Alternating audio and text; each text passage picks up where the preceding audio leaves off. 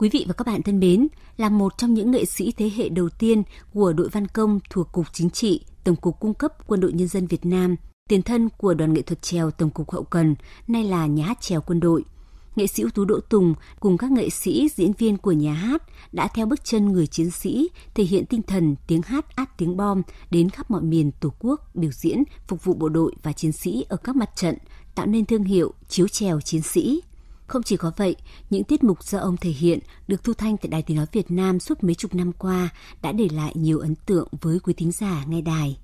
Chuyên mục Những giọng ca còn mãi hôm nay, mời quý vị và các bạn cùng nghe lại giọng hát của người nghệ sĩ đã làm đắm say biết bao thế hệ thính giả, nghệ sĩ ưu tú Đỗ Tùng.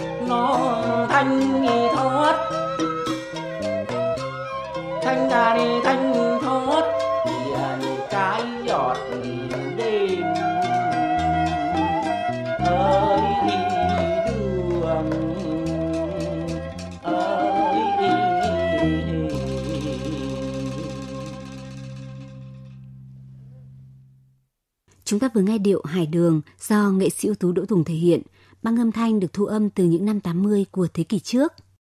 Quý vị và các bạn thân mến, nghệ sĩ ưu tú Đỗ Tùng sinh ra và lớn lên ở phường Trèo, làng Phú Nhi, xã Viên Sơn, Ba Vì, Hà Nội, trong một gia đình có truyền thống về trèo.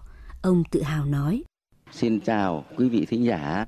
Tôi được theo cha mẹ đi hát từ thuở lên năm vì gia đình tôi là đi hát trèo ở phương trèo xứ đoài cho đến năm 17 tuổi.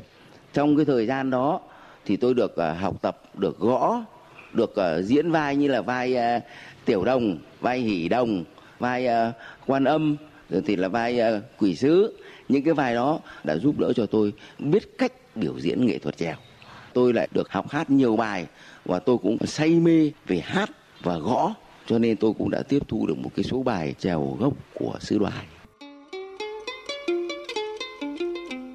Năm ông 8 tuổi, cha của ông mắc bạo bệnh qua đời, nhà nghèo, đói rách, mẹ phải gửi Tùng vào làm chú tiểu ở chùa Tổng. Vốn thông minh, ham học, giỏi chữ Hán, mới 16 tuổi, Đỗ Tùng đã trở thành sư bác. Những tưởng nghiệp cầm ca cũng lặng lẽ trôi qua cùng năm tháng âm thầm nơi cửa Phật. Nhưng mùa đông năm 1946, ngôi chùa yên tĩnh bỗng xuất hiện những người lính của trung đoàn 66 đến xin đóng quân.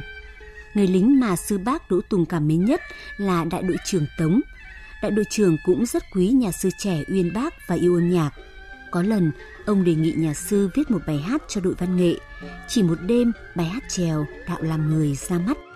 Càng sống với anh em bộ đội, nhà sư trẻ càng nhận ra sứ mệnh của trai thời chiến. Ông ngập ngừng đặt lên bàn đại đội trưởng lá đơn xin tổng quân và đến năm 1947, ông nhập ngũ tại tiểu đoàn 108, trung đoàn 148. Nổi tiếng hát hay đàn giỏi nên năm 1951, khi đội tuyên văn trung đoàn được thành lập thì ông được cấp trên điều động bổ sung vào đội quân đặc biệt này. Nhiều tháng trời, đội văn nghệ trèo đèo lội suối, hát phục vụ bộ đội và đồng bào. Đến đâu cũng được hoan nghênh nhiệt liệt. Riêng Đỗ Tùng được giao phụ trách một tổ vừa sáng tác, biểu diễn, vừa làm công tác dân vận ở vùng Lào Cai. Ông chia sẻ. Năm 1950 cho đến năm 57 thì tôi ở Văn Công, Tây Bắc thì tôi đã được diễn nhiều vai như vai uh, ải ơn của nụ cười sơn cước, thoát hoan của hận thiên trường. Đặc biệt là tôi đã phát huy mạnh cái nghệ thuật dân tộc. Nhị tình, nhị,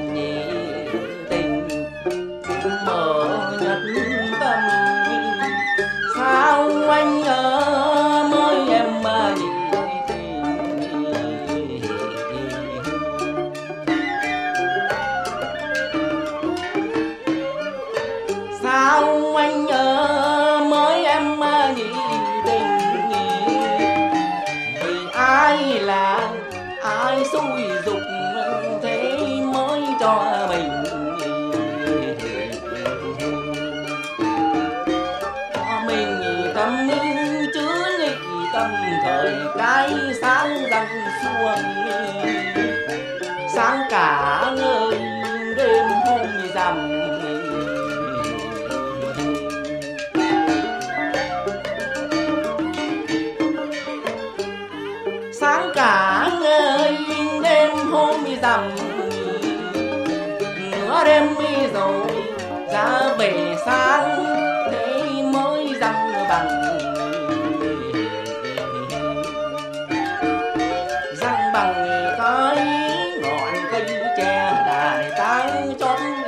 Yêu nhau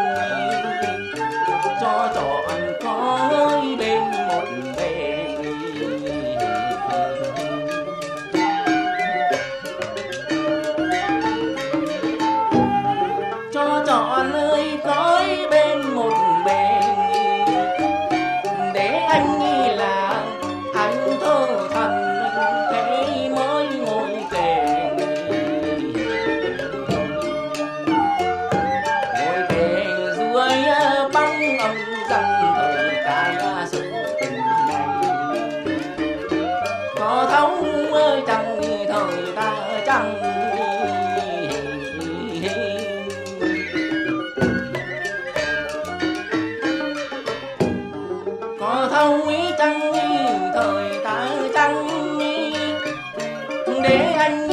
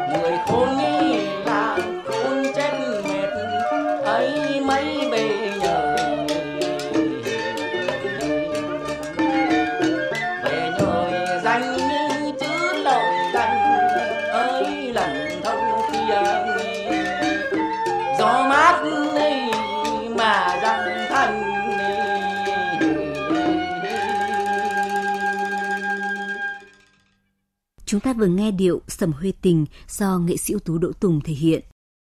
Thưa quý vị, năm 1957, ông được điều động về Tổng cục Chính trị làm đội phó rồi đội trưởng của đoàn nghệ thuật. Năm 1959, khi đoàn trèo Trung ương 2 được thành lập, Đỗ Tùng được giao chuyển ra làm đoàn trưởng kiêm bí thư tri bộ. Làm lãnh đạo, nhưng ông vẫn kiêm đạo diễn, kiêm luôn diễn viên với các vở trèo nổi tiếng như Cuộc đời theo đảng, Ai mua hành tôi, Mối tình điện biên, vân vân. Những năm ấy, Đỗ Tùng được khán giả biết đến như một gương mặt diễn viên trèo chuyên đóng vai người lính.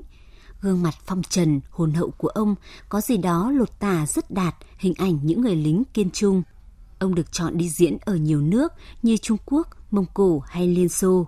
Không chỉ được biết đến bằng những vai diễn trên sân khấu, mà giọng hát trèo, hát sầm của ông được thu thanh và phát sóng trên Đài Tiếng Nói Việt Nam đến đâu cũng để lại nhiều ấn tượng với quý thính giả.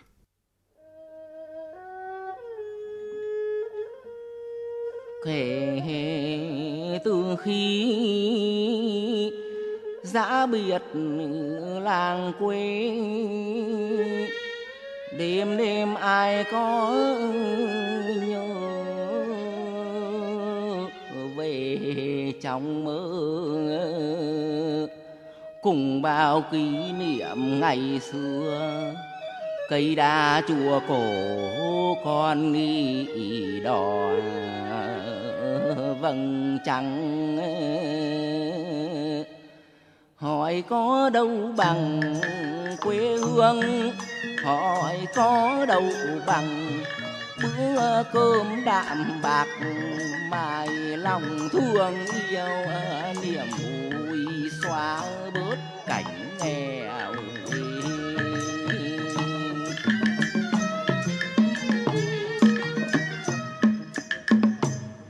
niềm vui xóa bớt cảnh nghèo, tình làng nghĩa xóm sớm chiều có nhau lá chầu chân bò bà câu thì ai xăm sửa. Qua cầu đón ai, rằng đồ trái giỏi trai tài.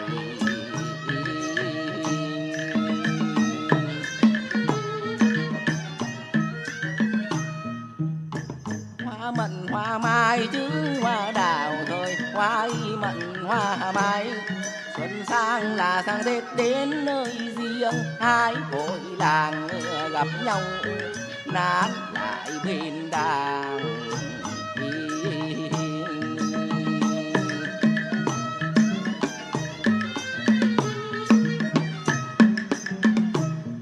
gặp nhau, nán lại bên đàng, khẽ chào câu hát nơi điệu đàn, làm duyên phụ già vui thú. Hàn huyền trẻ thơ tiêu thiết.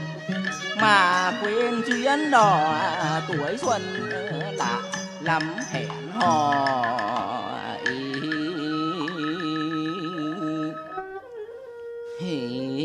tuổi xuân lại lắm hẹn hò.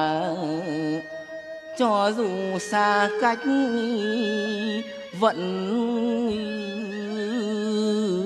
chờ đợi nhau.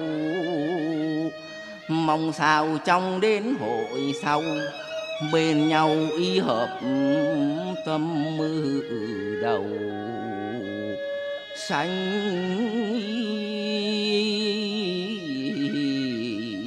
đôi. Đẹp lắm ai ơi, tình quê đẹp lắm ai ơi, mãi xa xăm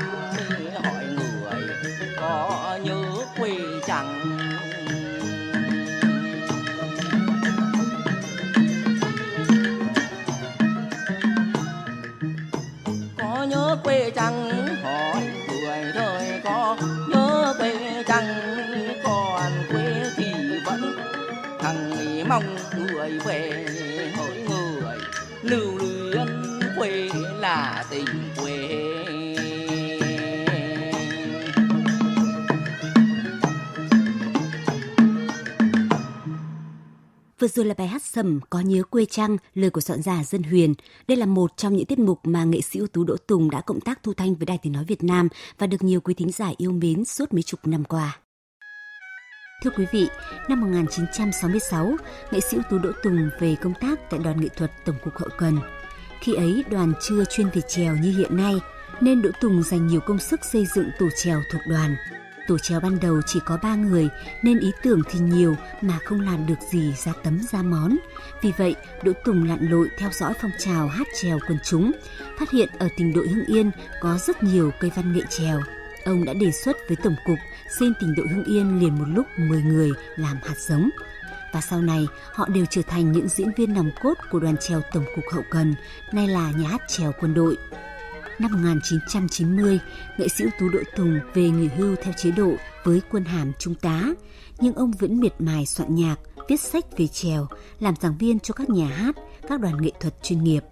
Giờ đây khi tuổi đã cao, nhưng ánh mắt của người nghệ sĩ chiến sĩ Đỗ Tùng vẫn ánh lên niềm vui và tự hào khi nghe lại một tiết mục tấu trèo mà ông soạn lời và trình bày được thu thanh tại Đài Tiếng Nói Việt Nam từ năm 1972. Đó là tiết mục tấu trèo Lão Dân Quân. Có lần ông đã chia sẻ với biên tập viên phòng dân ca. Vào năm 1966 đấy thì là tinh thần chống Mỹ cao trào chống Mỹ của toàn quốc nó rất sôi sục. Nó dội vào tấm lòng của tôi cũng là rất là sôi sục. Thúc giục lòng tôi mà phải làm những cái công việc. Thế thì tôi lại gặp một bài báo ở báo nhân dân có đăng về các cụ lão dân quân ở thanh hóa bắn máy bay. Thì tôi làm ngay cái bài lão dân quân.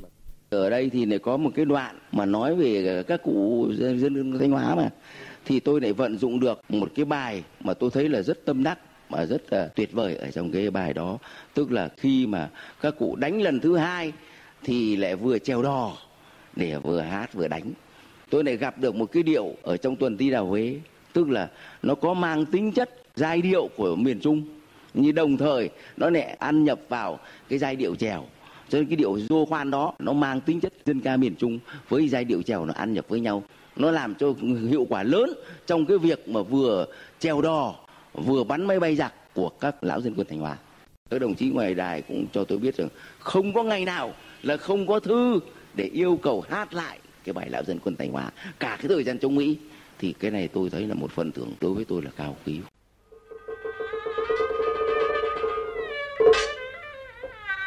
thùng thùng tiếng trống đại hội cờ hồng phơi phới khắp quê hương cất cất bước à, à, à lên ôi nhà. Ôi đường ơi. À, lão xăm xăm ôi nhà ôi nhà à, lão xăm xăm cất đi bước lên đường cuối già như trẻ lại sức lão càng. Thêm mới nhà sức càng thêm trai. Kính thưa chư vị lão tôi ra đây có phải xưng danh không nhỉ? Xin cụ cho bà con biết quý danh à à à, à thế thì lão tôi xin xưng danh. Quê hương lão có đồng xanh biển bạc có hàm rồng sừng sững hiên ngang. Lão à, sung vào trung đội dân quân tên vốn gọi lão là lão tuyết. Có phải cụ là lão dân quân xã hát không? Ấy phải phải. Thế cụ kể chuyện bán rơi phản lực mỹ cho bà con nghe. Vâng vâng lão tôi xin kể. Lão tôi kể rằng ừ, vạn sự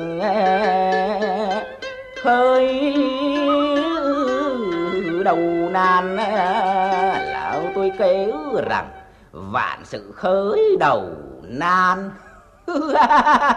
Muốn hạ được mấy bay thằng giặc mỹ thì đừng có ngại. Khó khăn cái lúc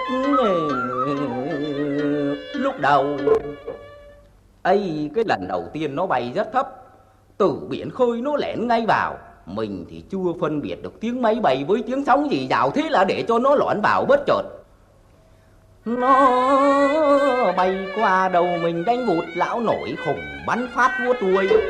Nó phụt khói già lão mới tưởng nó rồi ai ngờ thì già nó thông tắc. Nó tăng tốc chứ cụ. À phải phải phải. Nó tăng tốc tăng tốc. Ấy là lần thứ hai. Lần thứ hai lần thứ hai nó không bay thấp mà nó lại bay cao. Lão bắn bị thương nó lão đảo lao đao thấy nó rồi lão mới tiến vào. Nhưng lại hóa ra cái cái thùng dầu phụ. Tức quá À tức thật tức thật Nghĩ mà tức lên đến cổ. Tức đến nỗi cơm chẳng buồn ăn Đồng chí bí thư thấy rõ nguyên nhân Mới chịu tập họp ngay chi bộ đảng Thế là các cụ thi đua tháo luận Chẳng khác chi hội nghị diên hồng. Quyết nghị ra Toàn chi bộ hào hùng. Trung đội lão ơi vô cùng. Phấn y khởi. Ấy là lần thứ ba. Lần thứ ba sao? lần thứ ba nó mang thần tới, mình phát hiện từ xa chờ nó bảo tầm lệnh phát ra súng nổ rầm rầm nó bốc cháy, lao đầu tàn sát pháo ê. Trên 12 viên đạn bộ binh trong tay bô lão đã bắn rơi A4 của Huê Kỳ. Ba con tai rất đối hả hê còn như lão. Lão thì thế nào? Lão thì lão cướp tốc lên đường đi bắt thằng giặc lái. Nó coi trốn ờ, lên mây. Nó có chạy lên mây. Đi à, nhanh chân lên các cụ ơi. Súng trong tay là cây súng thép này. Xuyên đi rừng lô nhô, Gậy trong tay. Thời qua lạnh qua hồ ta bay Bắt quân thù Lão đã chặn đầu thằng giặc lái. Nó thấy lão tròm dâu tóc bạc Nó tưởng lão soàng Nó giơ súng lên kháng cự để chuẩn Lão mới khoa tay gậy đánh chát. Tay nó lìa khẩu súng. Thằng giặc lái còn đang lúc túng lão lìa một gậy Nó ngã lan chiêng. Rút gậy về lão mới giữ miếng trên. Nó mà xô lại à Lão quay đầu đốc là vào ngay. Ơi thế là hai cái đầu gối nó mới chành nhau hương hỏa. Giơ tay lên nó mới khóc. Nó lại khóc nỉ non. Nó khóc thế nào? nó khóc rằng cái việc bắn phá miền Bắc này là không không không phải tại con mà tại là tại Tại tại ai? tại, tại tổng rống phỉnh phò ép mứ buộc. Thằng giặc Mỹ đúng là thằng sợ chết. Lão giải nó đi để cấp trên xử xét quay trở về thôn xóm hân hoan. Trên đồng gặt hai xốn sang ngoài khơi mẻ cá đầy khoang đầy quý ân lão chúng tôi bè lái căng nghi buồm chữ tay thời treo. tay ơi. Súng mà để rộn ràng ấy rộn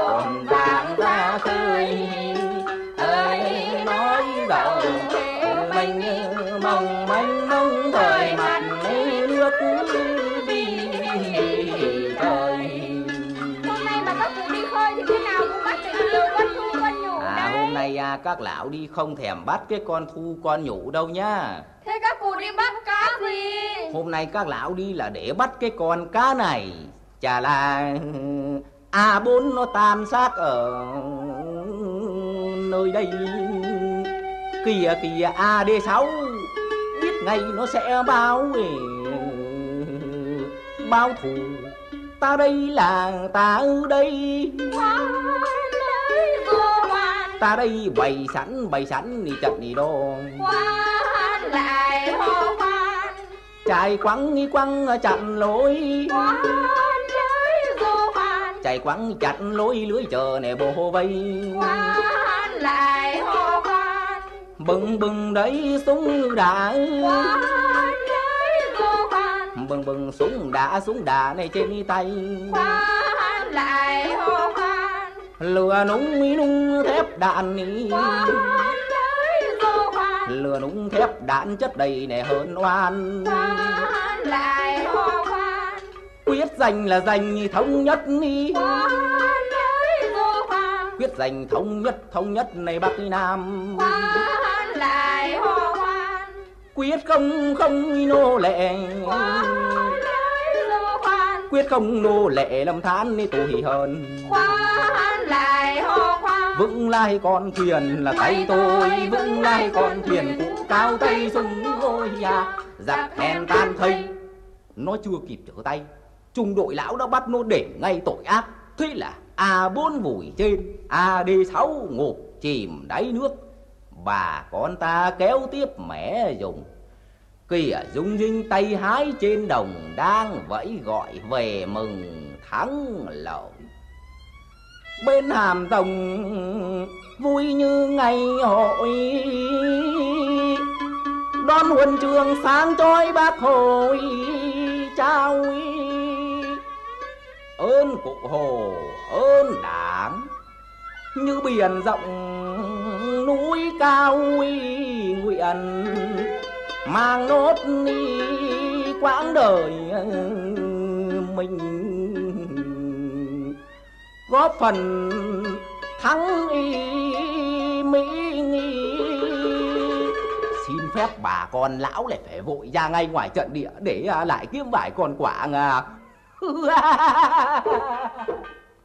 Chúng ta vừa nghe tấu trèo, Lão Dân Quân do nghệ sĩ ưu tú Đỗ Tùng viết lời và trình bày.